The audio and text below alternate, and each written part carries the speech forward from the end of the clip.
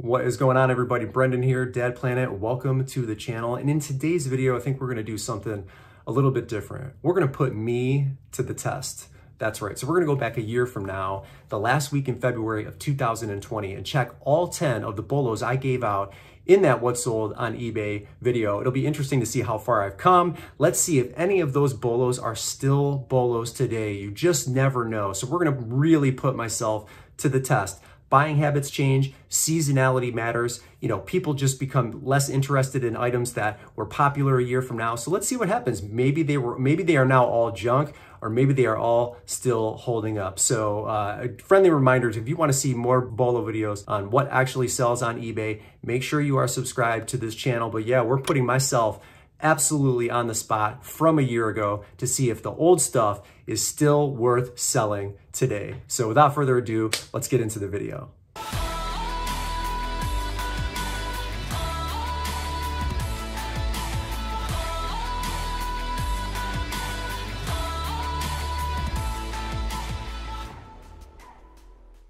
Okay, so we're at my computer screen, obviously. And we're going to take a look at the active listings first. Then I'm going to sort by sold. So we'll look at the list to sold ratio and then we're going to put myself to the absolute test. Are any of the bolos that I did in almost exactly a year from now still bolos or are they garbage? So let's find out. The first one I had in that video, which of course, again, is linked into the description, is a Sony job site radio. The model number is ZS-H10CP. Now, it says that there are 56 listed, but a lot of them are just the like power cords for it. So let's count how many are listed right now.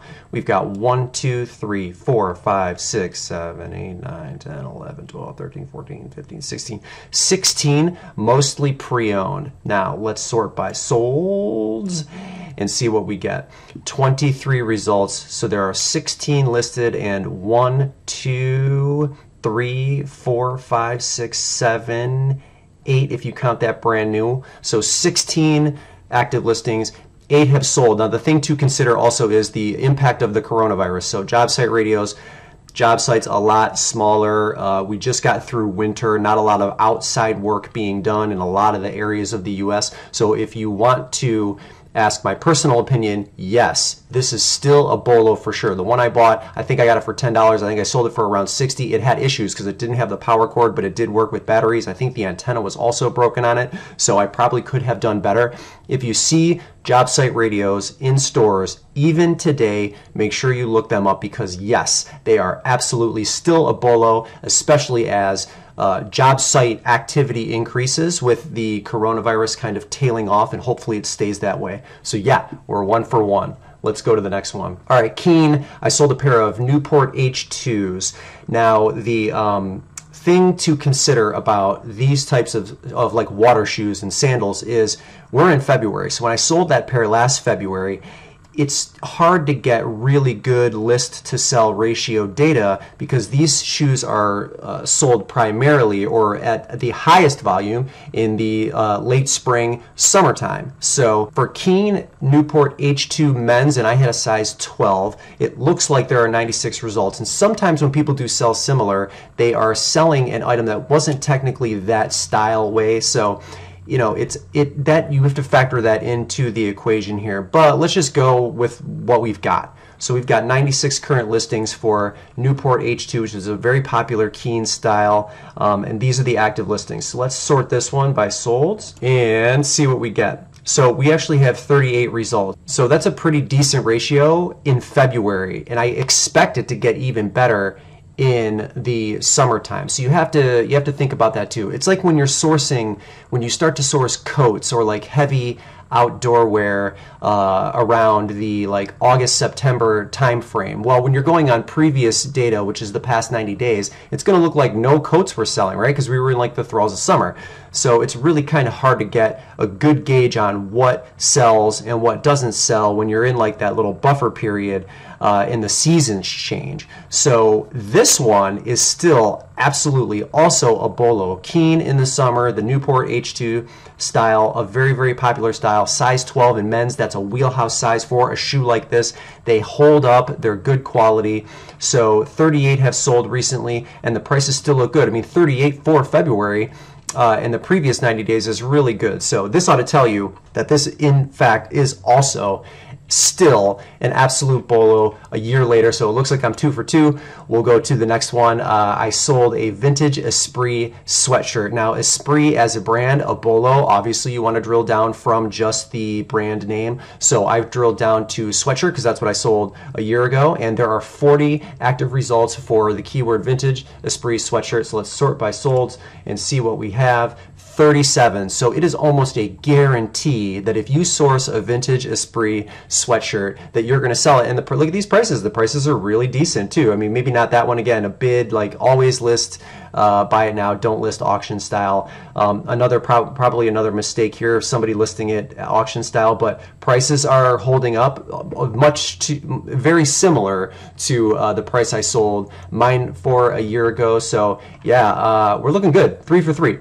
Let's go to the next one. So next one is a Uniden um, desktop scanner, like a cha channel scanner radio. Uh, the model number for this is BC142XL. There are currently only six results for that model number. And if we sort by the solds, 20 have sold, and the most recent one sold, even though it was free shipping, for $50. This is still absolutely 100% a bolo. These are harder to find, but it is almost, again, almost a guarantee that if it works properly, you're going to sell it. We are killing it so far. Let's move on to the next one. I, I made a Facebook Marketplace bulk purchase of electronics.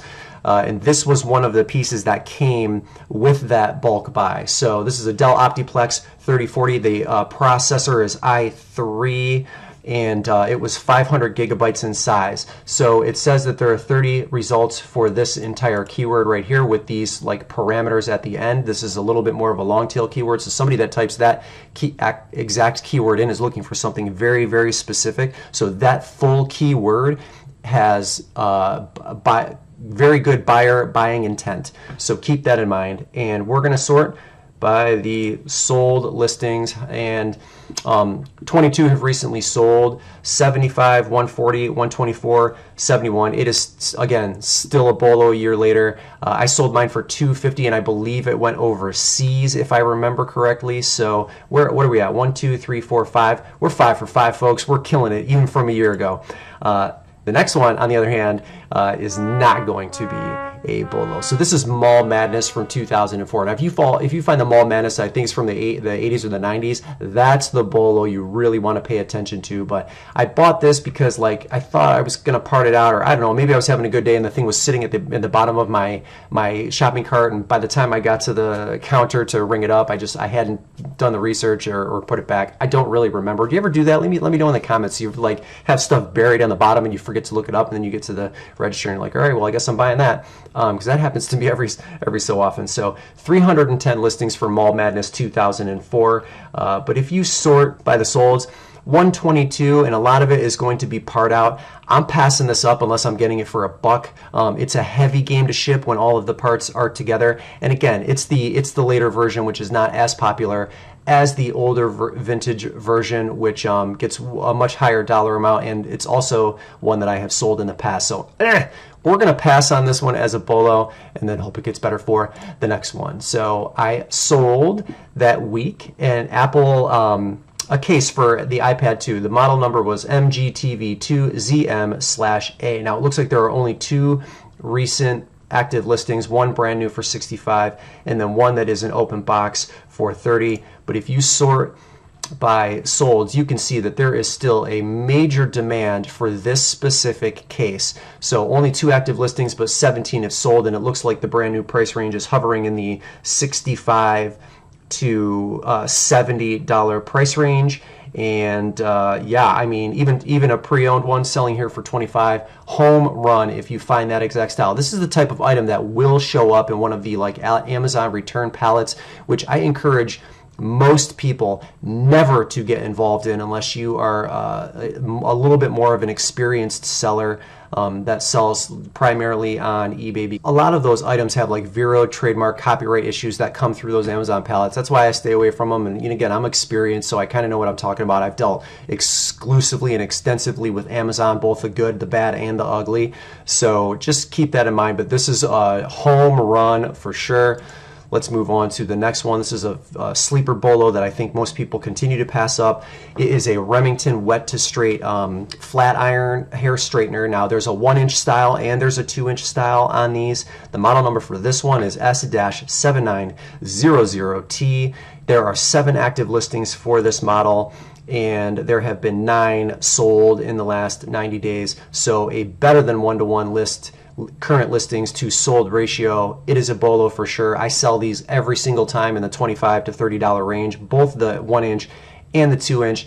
It's an absolute bolo. Let's move on to the next one, which was a Nespresso milk frother model 3192 that I had sourced at a store and resold. So 72 active listings, but a lot of this is kind of parted out. So you can see there's a lid here and, you know, there's a part here. So 72 active listings, but not, of, not all of them are complete for this item, but it is an in-demand item for sure. So 72, let's just settle on it for uh, purpose for ease purposes. Um, 246 have sold in the last 90 days. So the Nespresso Aeroccino 3192 was a bolo last February, at the end of February, and it is an even bigger bolo this February. We're doing really well, folks. We only got one more to uh, to check, and that was a Department 56 um, Halloween display house. The name of it was Legends of Sleepy Halloween. Now, I had sourced this on Marketplace, and I don't remember exactly what I paid. You have to go back and watch that video from start to finish to figure out what I what I paid for it. Um, I sold mine for three hundred dollars. Now, ladies and gentlemen, that this is why when you're doing research um, at home at a desktop, if you can get Terapeak on your phone or a tablet, use Terapeak because if if, the, if these two sellers were being wise, they would have looked not this not the bottom seller because they at least got 264 where I got 300 for mine, um, pre-owned but pristine in box the seller that sold theirs on February 2nd wasn't paying attention or didn't care. And that's a problem because that screws up comparables for the rest of us when we're trying to do it. So the market for this particular item is $300 and more because it is almost impossible to find. So I found mine, got it listed, sold it off, and I had a bunch of others that I bought, I think, in a lot. And that one sold for 300 bucks. There is no way this thing is worth $50. Whoever bought that got an absolute steal and should seriously just turn around and relist it um, for, um, for a higher price because they stole that item. So the model number for this one is 806456. They are very, very hard to find, but use Terapeak. That will go back a year from now. Um, and that's again when you have a, when you develop more experience in your reselling endeavor you'll start to be able to make some more of these gut calls based on previous sales or what you know, what you've learned along the way. And this is a prime example where I know what this thing is worth and I know what I can sell it for and I know that I could probably get even more than what I got it for last time. But an inexperienced seller or somebody who doesn't care comes in at $50 and they just essentially left, you know, $300 on the table. That's not a mistake any of us wants to make when we're reselling and we're trying to make a living, we're trying to do this full time, even part time. 300 bucks is 300 bucks. You never want to leave that on the table. But listen, we are 9 out of 10 for bolos that were a year old now. Pretty good. So, let's give myself a pat on the back. All right, ladies and gentlemen, what do you think? 9 out of 10. All of those items from a year ago still bolos today. So, you know, if you're going to binge watch Brendan, like at least watch that uh, video in full. It is linked in the description. And then, you know, go go really far back in the catalog. And uh, yeah, I mean, look at this, look at the back wall relative to uh, where I was at that point in time. How hilarious is how far we've come in a year, at least visually for you. And I kept telling you folks I we would get there. So a little bit prettier background, um, but those bolos are still holding up for sure. So I'm I'm happy that uh, that I don't suck, uh, or at least I didn't suck back then. Doesn't seem like uh, like I do now. So that's a wonderful thing. Make sure you're subscribed if you are not already subscribed, if you want to see more videos like this, because I will continue to do um, items like this in the future, along with all of the Bolo videos that I always do. Leave a like if you liked what you saw. And uh, that's it. Just know I appreciate each and every one of you. Brendan here, Dad Planet. Peace out. We'll see you in the next one.